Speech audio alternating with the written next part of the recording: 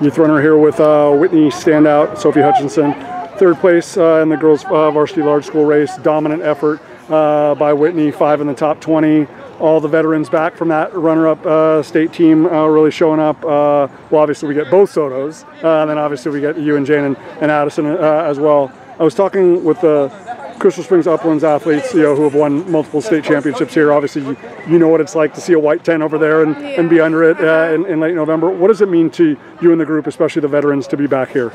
It just means a lot because we lost three seniors who were pretty fast, but it's it's nice to like still be in like a good like placing wise and stuff. Like, and we're not we didn't lose like that much like what's it called team like bonding and stuff. Most definitely. Well, no, I mean, I knew that this uh, this group, you know, was uh, was always going to remain close. But just uh, how proud have you been? I mean, again, you know, no one's going to replace the Kopech family. No one's going to replace Carissa. yeah. But like, just the fact that the group has been so cohesive, and it, like it, it hasn't mattered if it's you know here at Woodward Park, if it's at Willow Hills. You know, you ladies have uh, have you know, really rose to the occasion multiple times already in September and October. Like, how exciting is that? How encouraging is that? That it's like, hey, you know, we're, we're still as formidable as we as we've we've been in Division Two. It's like really exciting because like I mean like going into this year I was like we're still like gonna be like a pretty strong team like in our like d- like section, but then like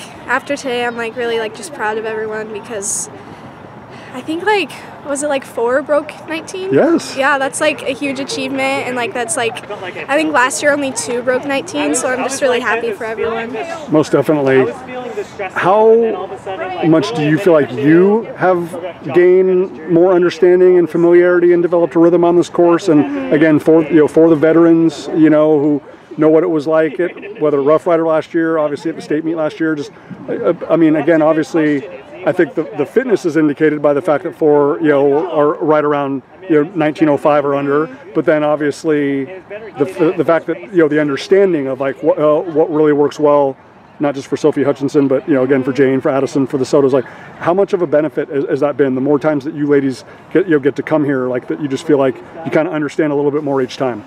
It's like a huge benefit because like we understand it more and we can like tell the younger ones like what the course is like and help them like understand the course.